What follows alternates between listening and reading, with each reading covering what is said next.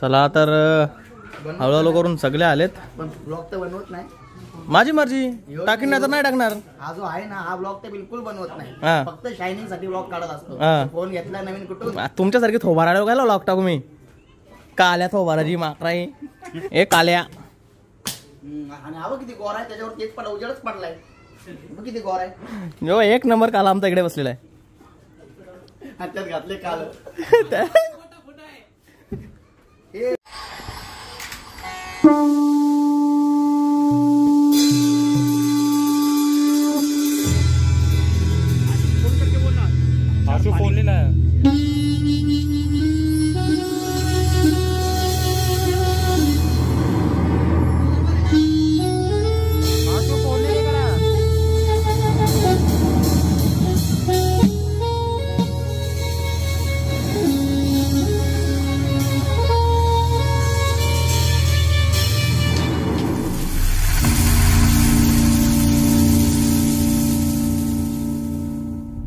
मित्रांनो आपल्या आजच्या नवीन ब्लॉगमध्ये खूप दिवसानंतर पुन्हा एकदा तुमचं सहर्ष स्वागत.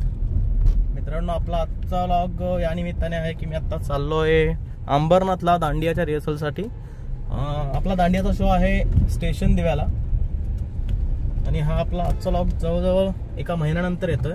याच्या आधी आपण दहंडीचा दहीहंडीचा लॉग टाकला होता. त्याच्यानंतर एक महिन्यानंतर आपला आजचा दांडियाच्या रिहर्सल निमित्त लॉग येतोय. त्याच्यानंतर आपले बघूया. जमलं तर आपण रोज नऊ दिवसांचे नऊ लॉग टाकू.